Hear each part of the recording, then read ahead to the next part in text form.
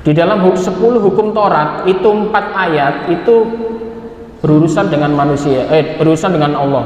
Sedangkan enam ayat sisanya kalau kita menurut hukum Taurat 10 hukum Musa itu ya, yang enam itu sesama manusia. Kasihi orang tuamu, jangan mencuri, jangan berzina, jangan mengingini harta sesamamu dan sebagainya. Itu kan hubungan dengan manusia. Yang empat ayat jangan engkau menduakan Tuhan dan lain-lain itu tauhidnya Nabi Musa dan itu juga diajarkan di dalam Islam yaitu hubungan habluminallah dan habluminanas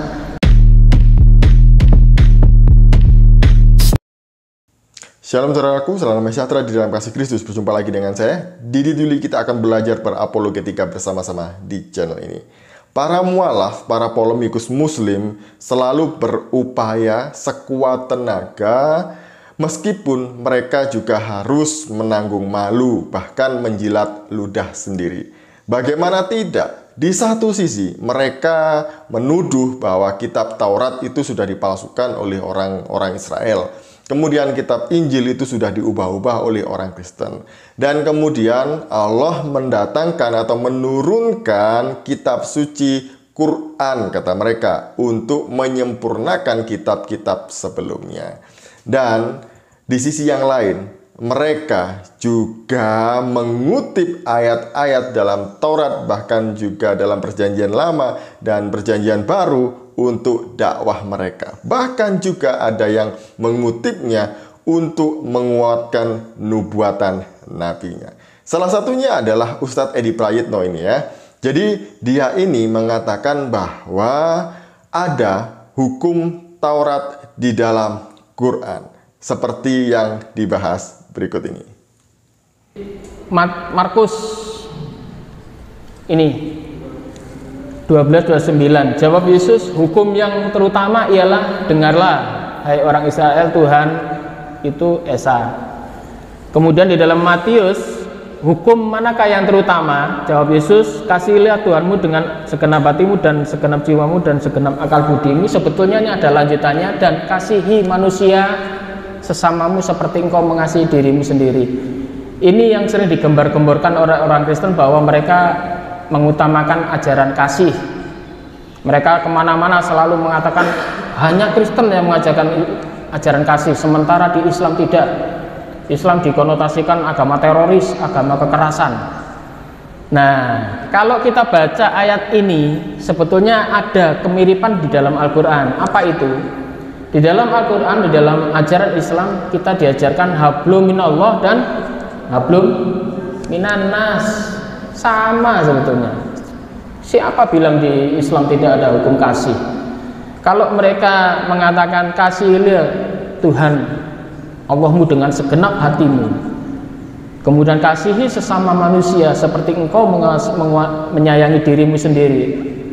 Islam juga mengajarkan hubungan kita dengan manusia dan Allah hablum minallah dan hubungan manusia dengan manusia hablum minanas ayatnya mana? Banyak di dalam Al-Quran di dalam 10 hukum Taurat itu empat ayat itu berurusan dengan manusia, eh berurusan dengan Allah. Sedangkan enam ayat sisanya kalau kita menurut hukum Taurat 10 hukum Musa itu ya, yang enam itu sesama manusia.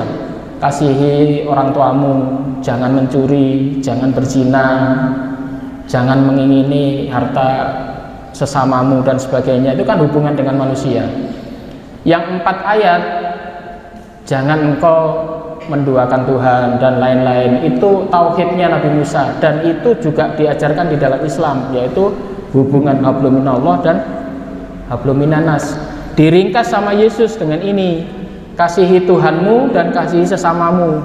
Karena 10 hukum Taurat ini ditanyakan oleh murid-muridnya guru sebetulnya dari 10 hukum itu mana yang lebih utama anda sudah melihat sendiri kan, ya pekerjaan mereka ya ini, kalau nggak memalsu-malsukan begitu ya, menyamanyamakan bahwa kitab Alkitab itu sama dengan Quran. Seperti yang disampaikan oleh Ustadz Edi Prayitno, bahwa eh, 10 hukum Taurat itu ada di dalam Quran. Dan juga mengenai hukum kasih.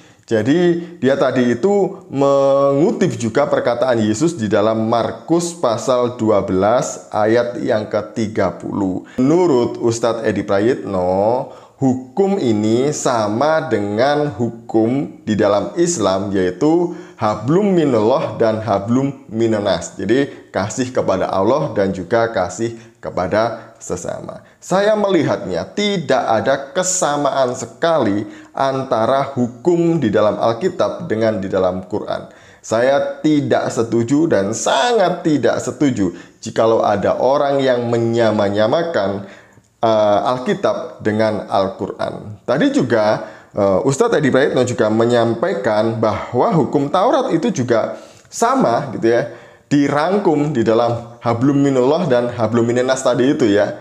Padahal sangat berbeda. Kalau kita melihat di dalam Keluaran pasal 20 ayat 1 sampai ayat 17 di situ Tuhan memberikan hukum ini melalui Musa kepada bangsa Israel dengan sangat rinci dan teliti.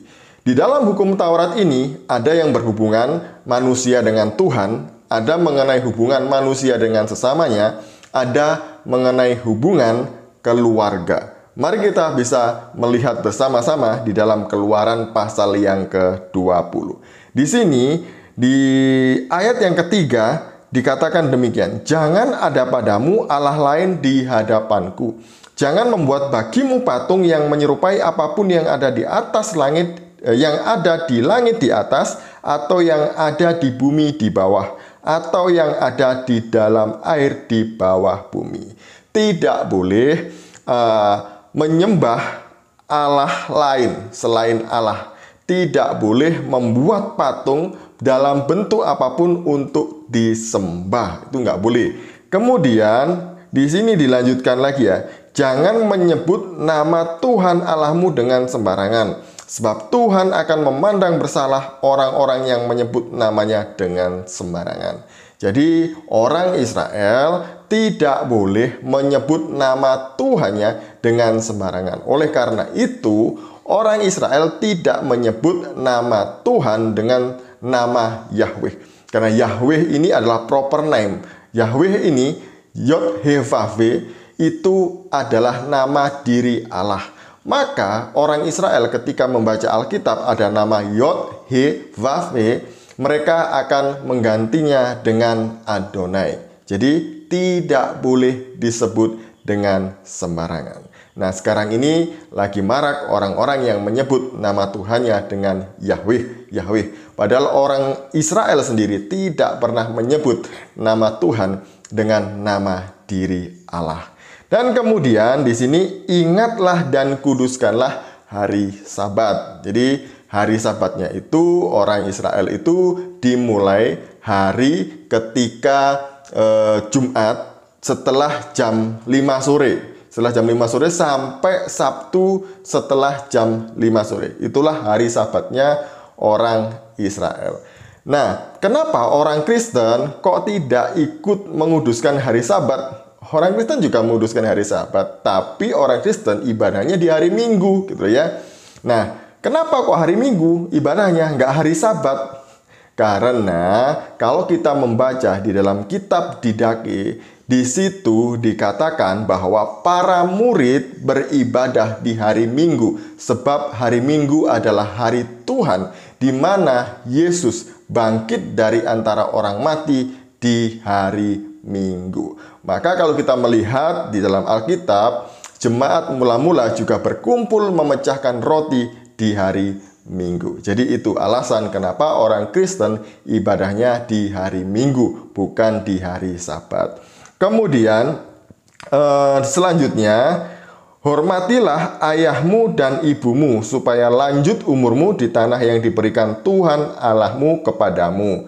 Nah, ini adalah hukum yang diberikan oleh Tuhan kepada keluarga. Jadi, di dalam keluarga itu uh, ada tugas dan tanggung jawab masing-masing. Baik orang tua kepada anak, anak juga kepada orang tua, suami kepada istri dan istri kepada suami. Kemudian yang selanjutnya ini yang jangan membunuh, jangan bersinah, jangan mencuri, jangan mengucapkan saksi dusta tentang sesamamu. Ini berhubungan mengenai hubungan sosial antara manusia dengan manusia. Jadi e, pribadi yang satu dengan pribadi yang lain. Jadi tidak boleh melakukan ini di antara orang Israel. Dan yang terakhir, hukum yang terakhir ini juga untuk keluarga. Jangan mengingini rumah sesamamu, jangan mengingini istrinya atau hambanya laki-laki atau hambanya perempuan atau lembunya atau keledainya atau apa pun yang dipunyai sesamamu baik untuk keluarga maupun sesama jadi jelas ya nah hukum Taurat ini e, mengatur ketiga hal tadi itu. Hubungan dengan Allah hubungan dengan keluarga dan hubungan dengan sesama. Inilah hukum yang diberikan kepada orang Israel.